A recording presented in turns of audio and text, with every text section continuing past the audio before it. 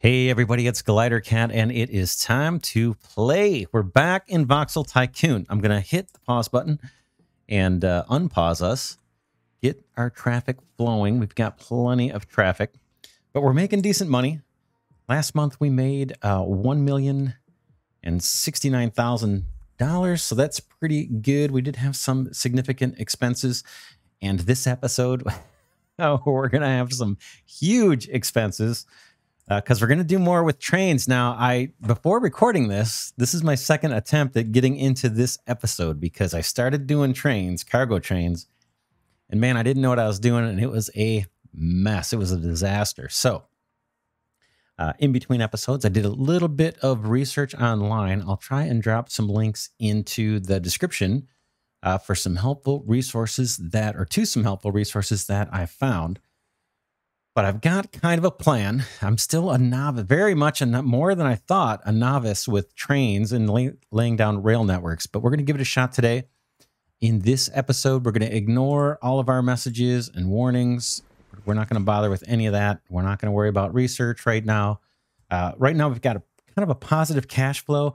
So we've managed to buy ourselves some time with our truck heavy routes so far. And then we've got our little people train going generating uh, mass sums of profit here, nearly four hundred dollars. So that's not too sh- that's not too shabby. So we may rework that line a little bit, and uh, and then we're also kind of waiting for this log business to uh, go bankrupt, so we can delete that building and run this passenger line through town. We may loop it back down. We'll see. Um, but we're not going to worry about that either. That's kind of on autopilot. For today, what I want to focus on is getting a material train route set up so we can start transporting materials. And I think I want to start with wood products over here by our, our Haver wood supply area. We've got 129,000 uh, raw material of wood still available to us. And here's kind of what I was thinking of doing. Now, this won't be a super optimal train network. This is kind of uh, Glidercat's getting familiar with train networks starting approach. Um, but hopefully it'll be functional. So let me walk you through my plan. For those of you who are very skilled at uh, setting up train networks, uh, you'll probably see some inefficiencies here. But uh, for those of you who are kind of newer to train networks, uh, hopefully this, the uh, design I've chosen here will be uh, a little more intuitive and kind of kind of entry level. So what I'm planning on doing is I'm going to set up a large uh, freight station here for train, you know, for a train freight station. It'll be pretty big next to the uh, our wood deposit here and our wood factories. That trains will come here and pick up all the wood products, the beams, the wood frames when we get them done, and what else we got? Planks, the raw wood, if I didn't mention that, and whatever else we have coming in the wood production line. So they'll pick up those products here and then they'll deliver them to the various towns. So we'll have a big train station here. Then I'm going to go with uh, the junctions that I seem to understand the most. And that's just like our uh, circle junction. We'll see those. It's kind of like a roundabout. I'm going to kind of stick with those in the beginning. So we'll have a roundabout maybe somewhere up here if we can do it. This territory is encroaching on us a little bit. But we'll have a roundabout here that'll have uh, four different ways. You come into the roundabout and you can leave in four different directions. One of those directions, I'm planning to have you come out near this coal resource, and we'll put another station here where trains can pick up coal and deliver them to different towns. So then we'll come up from that roundabout and maybe have another roundabout here and from that one, you'll come off to the, I guess, the west. No, the east. You'll come out towards the east, towards our towns here. Maybe that'll be a little higher up, actually. We'll have a roundabout. And then yet another roundabout that'll fork off, and you can go kind of north and hook into Somersville and maybe put a freight station there to deliver products into Somersville. And then if you go kind of out, out the, the, um, up to the right of the roundabout, you can hit Amana Colonies. And then if you come into that roundabout and come out the bottom, we can maybe fit a, another freight station here just to serve Haver. So we'll give that a shot. We'll see how it works. We'll start with just, uh, well, let's just get into it. Uh, it's easier to kind of show you than to explain it. So let's give it a shot. For our freight stations, uh, let's just see what we want to do. Now, I'm trying to decide on the size of these things. And I'm still kind of wrestling with what is the right size. In one sense, the raw material ones, we may want trains that sitting here and not leaving until they're full. And I don't know yet if uh yeah, if we'll have like a single train that's carrying multiple products or we'll have a train for each product. So are we going to have a train that's got cars uh, one the first car has planks, the second car has beams, the third car has raw wood, or we're going to have three separate trains, one for wood, one for beams, one for planks. I'm not sure yet. I'm kind of thinking that we would want to have multiple products on each train, and then each train can kind of go to its own city rather than having the plank train visit all cities. Seems like that might be a little more efficient. So, if that's the case, I'm a little, you know, not sure how how how wide to have this uh this freight station. So let's see. I've got it at two. I've got it at 250 meters. You can see it's going to cost a half a million bucks, but we've got plenty of cash, and we're going to experiment. Uh, let's see. Let's put this guy. He's going to need to be able to pick up from factory from these wood factories. Let's put this guy right here. What do I have it at? Five lanes. Uh, we'll just have to experiment and see plop that guy down. Boom. There we go. And then we're going to go with two-way tracks too. So this track I have here in our initial kind of attempt at trying to get a freight station over here for Newport Beach, we'll probably tear this up or or maybe reuse some of the track, but make it uh, uh, two, a double track system. So it's one way on each track as much as we can. I think that's a little easier to understand, at least for me. All right, so there is our first train station. Let's see. Now we don't have, we have a little bit of room here to come in from this side. I think, let's see. Let's, let's next try doing one of these circle junctions.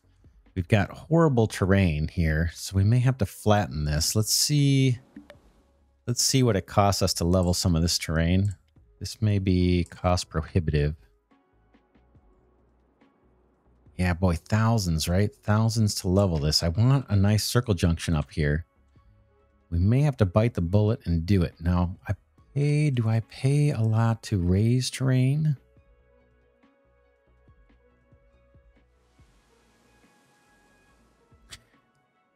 And then uh, let's see how we want to get these trains out of the station. Again, I'm a novice at this, so it's gonna it's gonna be a little bit of an effort.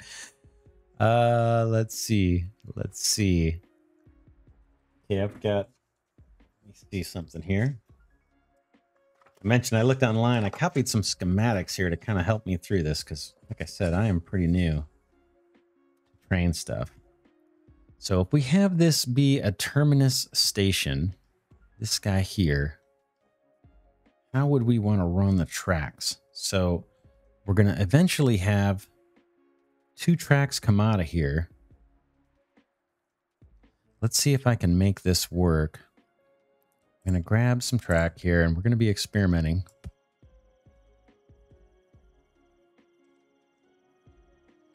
And for the sake of making things a little easier, I'm going to level this terrain. We're going to be spending some cash somewhat unnecessarily just so uh, I can more easily learn what the heck I'm doing. I didn't really want to come up that high, but we'll do it. Fortunately, we're making some cash.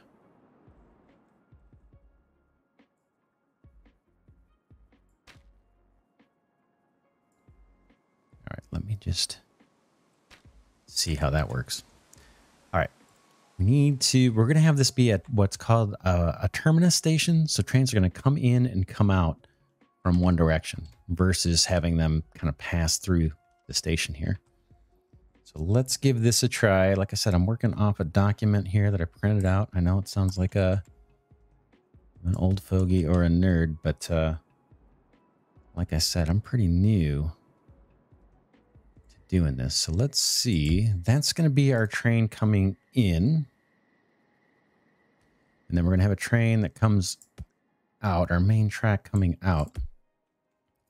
And now we need to join these guys up. Let's see if I can figure it out. We need a route from here going all the way out to this guy. Boom. Then this guy needs to join up with that. Let's see, can we do it?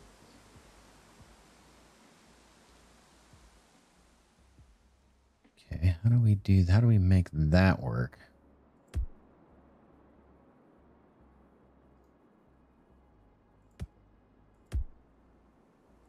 Okay, that looks like that might work.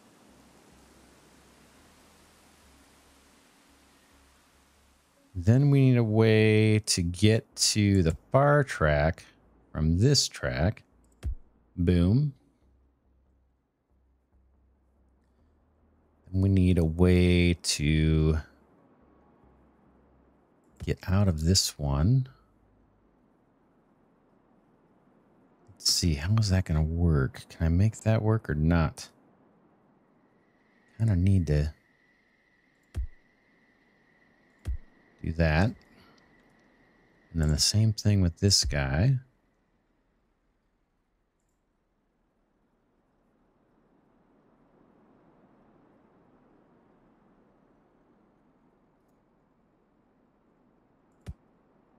Oops, let's take that out. Looks like I may have gone too far. Now, I'm not sure if we're going to be able to pull this off. Those three are fine. We just need to get this guy onto the exit track. So let's try it again. It might be able to just come in like this, right? Although, let's see.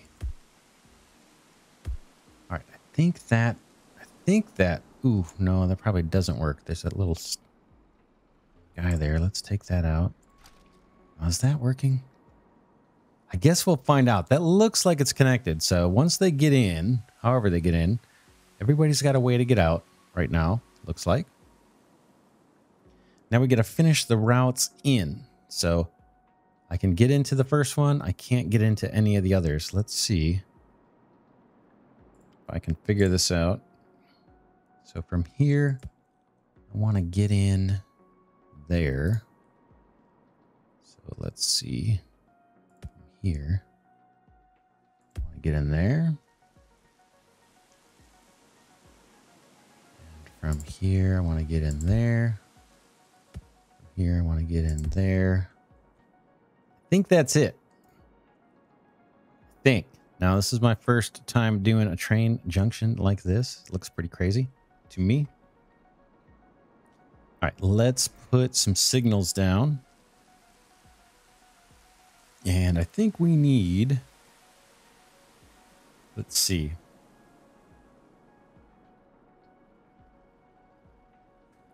I think these are all going to be the pre-signals, I believe. So pre-signals like that to get out. And then I see a, and I'm working off a document here. Pre-signal here to get in.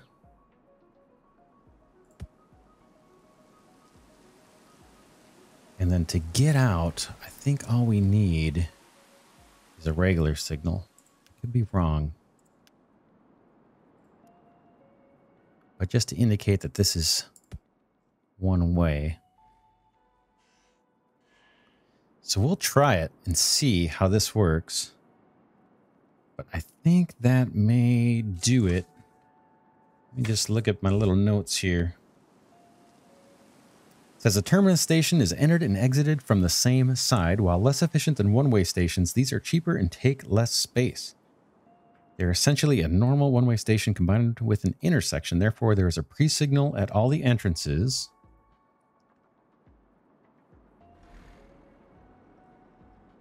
Pre-signal at all the entrances. Did I not do that? Yeah, I didn't do that. Okay, we got to get pre-signals on all the entrances. So as you're coming in here, we need pre-signals. And this kind of helps indicate that these are two-way tracks. Right now you can see these all these little arrows are showing, hey, it's only one way.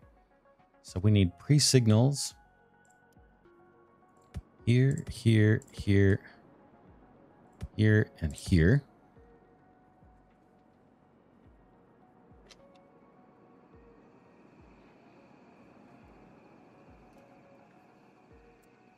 Okay, it says uh, we need pre-signals at all the entrances and the one connecting to the main line in this case. Okay.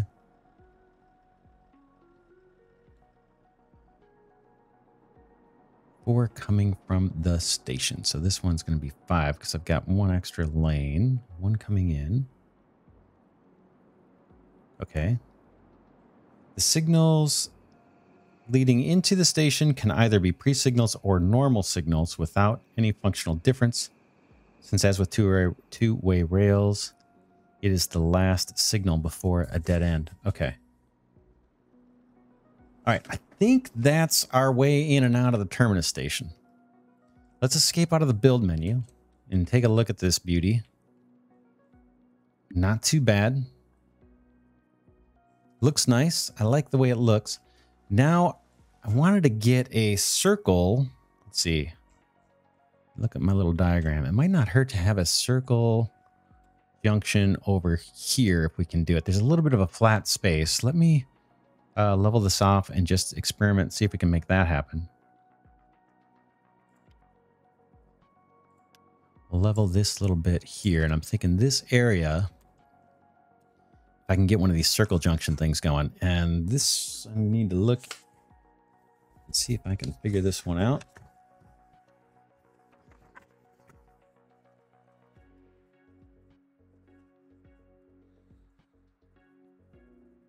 All right, this is kind of crazy. So it's going to take me a minute to do it, but well, hopefully it will be somewhat entertaining to watch my attempts at getting this.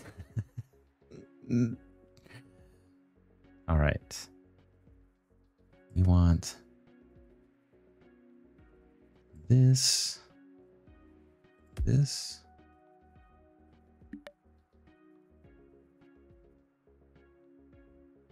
This, that.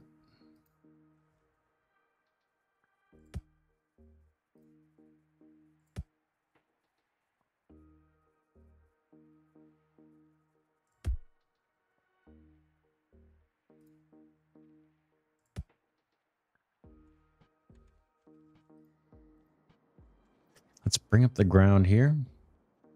We'll do our little trick, even though I don't, not crazy about this. Feels kind of cheaty, but uh, just in the interest of getting the train set up, we're going to do it. Level.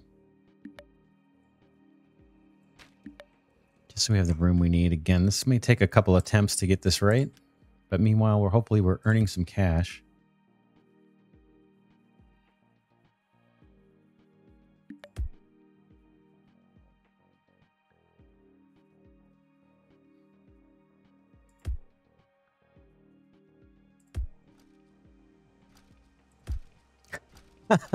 this looks terrible. All right, hold on. Let me try. Let me try some more here. All right, I'm back. I think I got it. I think I got it. It's not perfect. It's not perfect, but I think this will work. It takes a long time uh, for me to figure this out or to get it done. You can see it's not perfectly symmetrical, but maybe with some more practice, I will get this uh, improved. But for now, I think that's going to do. Let's keep chugging along. Sorry, this is slow But man, yeah, go ahead and skip several episodes if you must uh, until I get this figured out. Um, naturally, I'm off by one block here. Let's see if I can make this connect back up. Apparently not. Let's uh, let's see what we can do. Let's delete some of this track. And let's level this land for now and then hopefully it will find its way up the hill and we'll just connect from the middle of this turn up into that track. I think we did it. I think we did it. Wow. That's some work. Why did I do this? I think uh, the reason I did this is I want to have a, a, branch coming down on our rail network to come down. I don't know that we will use this branch here or not. And then we'll definitely use this branch. Let's see. We're going to be doing several of these. Uh, let me, yeah, let's keep moving. How do I want this to go? Uh, these rails, these two, we could snake this around and have it go into another station to pick up coal. So I burned through a ton of cash too, you can see. Let's, uh, let me grab a train station. And I was thinking for coal, now I don't know if there are any coal products or not. Maybe we make this station a tiny bit smaller. We'll go with four. This will be another one of those terminus type stations.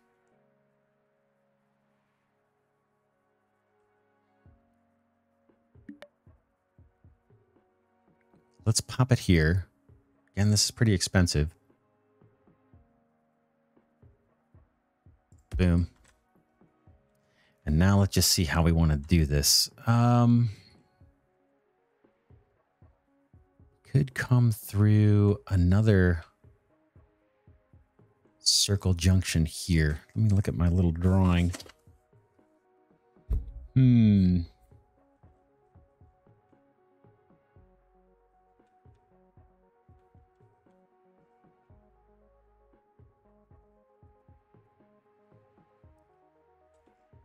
We want to come into this too? We could come in from the top I think that's what I was originally intending. Come in from the top on this one. So this would be, yeah, doing that same thing. Tell you what, I'm going to end this episode early. Uh, you got to see the first little circle junction and our and our first uh, station, train station for goods and services. We got a bunch of loading cranes here and crates. It looks pretty cool. We don't have trains. We'll start out with this being on a separate network, all our material products, and then we'll eventually join up with our uh, our people train here, and then we'll probably convert a lot of this track to being two lanes of of uh, train track.